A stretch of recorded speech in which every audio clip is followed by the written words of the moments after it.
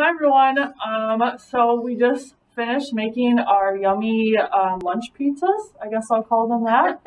they were very delicious, and now we're making a special dessert pizza. And this dessert pizza is called Fruit Pizza Supreme, and it comes from the same book that the our pizza crust recipe came from that we used for our lunch pizzas. And for this, we need a tube of refrigerated sugar cookie dough. And we're just making a half of a batch. So we just have half of our sugar cookie dough. And so the first step calls for us spreading that out onto the pan and cooking it at 350 for 10 to 12 minutes. And our hands are clean. Yes, we have clean hands. So press this down. Some muscle into it. It was in a very cold refrigerator. How does it work? Do you want the rolling pin? It says to press.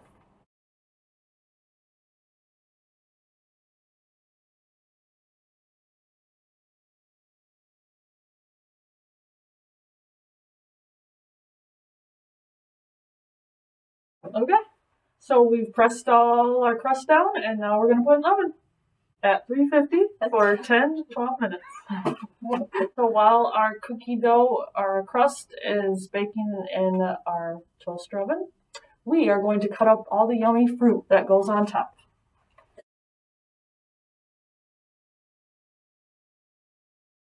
We're not using the whipped topping from the freezer section. We're going to make our own. So we're going to use whipping cream that we're going to whip up, and then we're going to add some sugar and vanilla.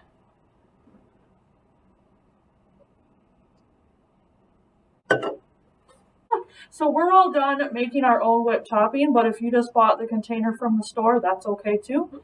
So the next step is we're going to take um, some cream cheese. And like we said before, because we're just making a half recipe, ours just takes one container of cream cheese. If you were going to make um, a whole recipe, it says it takes two eight ounce containers. So so we have our cream cheese, and then you are going to add confectioner sugar, and the whole recipe takes a cup, but the half recipe takes a half a cup. And then you want vanilla, and the whole recipe takes one teaspoon of vanilla. We're going to use a half a teaspoon. Okay.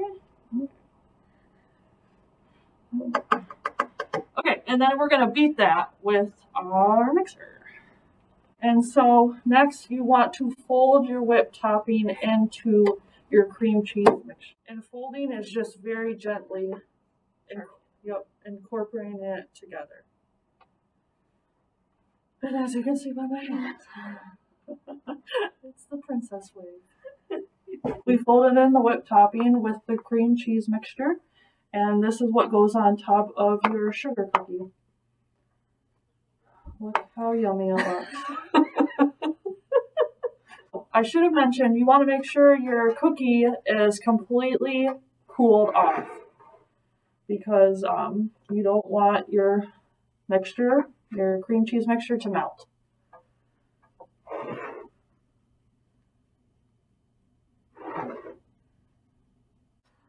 Okay, so now you're going to take your fruit and decorate your pizza. And when we're done, we'll show you what we got. Okay, so we've um, decorated our pizza and it looks chaotically beautiful. so we hope you guys enjoy this delicious treat. Thank you. Bye.